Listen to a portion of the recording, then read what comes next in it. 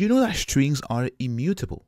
So this is not really appending to the string, but rather is creating a brand new string. So this can be costly. What's going on guys? Assalamu alaikum. Welcome to Amigos Code. In this video, let me show you that you've been working with strings the wrong way. So this is something that I've seen a lot of people do. And I thought, you know what, let me just make a video so that you understand exactly what you are doing when working with strings, especially when concatenating them.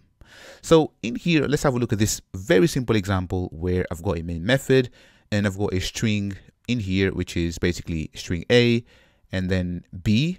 And then here I'm concatenating these two together and then I'm saying result, right? So in here, let's say that this right here is a string. So A and then null. And here I'm concatenating both of them together. So if I run this, so you should know that the output for this will be A and then null. Nice and easy, right? Now, if I was to change this back to null, now I want you to think about the answer. What do you think this will be? Will this be a null pointer exception? Like think about it, right? So you know that if we perform something null, so if I say, for example, in here, so in here, let's just say here. So I'm going to say sout and then b dot to and then string, for example right? So if I run this, you know that for sure that this will fail with a null pointer exception. However, if I remove this and now I try to concatenate these two together, so A and null, what do you think this will be? So you've got three seconds. Three, two, one. Okay, cool. So let me just run this. And you can see that we get the exact same result as before, which is A null, in here, have a look. Now, the reason why this is happening is because the compiler makes some optimizations. Let me show you. So if I basically in here open a project and you see that we have the out production strings and in main. So this is the actual class, which is a decompiled one. And in here, you see that line number six. So this is what we are looking for, right? So in here, if I go to, so I've just selected the main.class and let's go into I think it's view and then view bytecode so this is what's fed into the JVM and if we look into so in here line number six. So this guy right here right?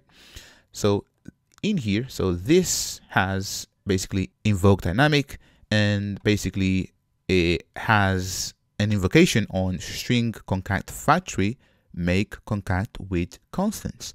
Now let's look into this method in here.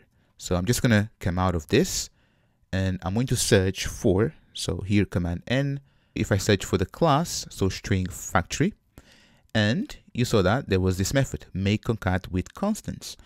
Now, if I scroll down, there's some code in here, but really what I'm looking for is this method, parse recipe. Now, if you look into this method, what is happening. So if I scroll down, have a look, string builder. So basically, internally, it's replacing the plus with the string builder. Now, if I basically scroll down in here, and basically um, there's some logic that goes into it, but there's an append in here, an append method. So I'm going to show you the append method. So let's have a look into the append method of the string builder. So here, let's just basically say string and then builder. And then I'm going to say SB equals to new and then string builder. And let's basically say SB dot and then append. And here I'm going to append B, right? So B is the null value, right? And also what we could do is we could say, so sout in here, and then sb dot to string to get the string value. So if I look into sb dot append, have a look. So this basically invokes the super dot append. If I look into it, have a look. If it's null, append null right here. And if we look into it, so in here, you can see that it's appending basically the null string. So this is exactly what you saw. So if I was to run this in here, and you can see that here, basically, we just get null back, right? So this is basically what is happening behind the scenes. The other thing that I want to show you is that if I remove this piece of code in here and paste this code, and in here, basically what I have is two methods. One is this string right here, and we're just appending stars. And the other one is using this string builder, right? And then I've got this number here, which is basically when to stop. And also I've got some code to show how long it takes, basically using a string builder or the basically string right here. Now, I see a lot of people doing this. So string and then basically s equals to null. And then basically within the loop, you then append like this. But if we basically run this code in here, what I want to show you that, have a look. So slow elapsed, so basically one millisecond, and then fast basically elapsed. So this is using the string builder, and then this is using the regular string, right? So if this number here, for example, in here it's one, it doesn't really make a difference.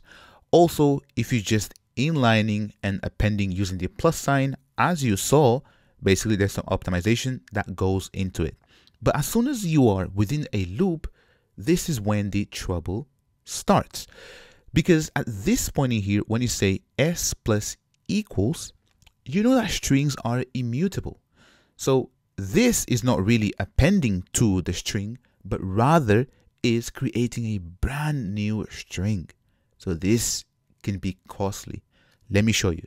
So if I change this number from 1 to let's say 1 million, so here underscore 000 underscore 000, right? So if I now run this in here, check this out. So you can see that basically it's taking a while, so it hasn't finished. And eventually, let's just wait for a second.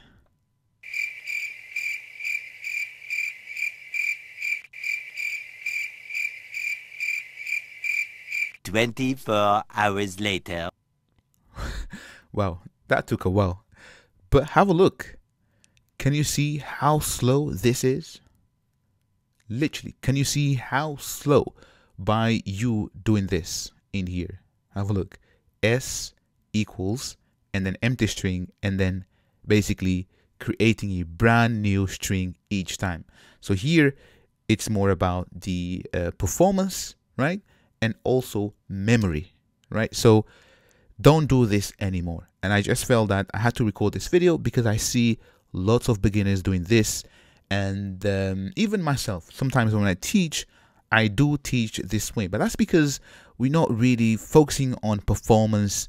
But as soon as you start to write code that goes into production, then you have to be really, really careful on what you write. So basically, this is it. So don't do this anymore.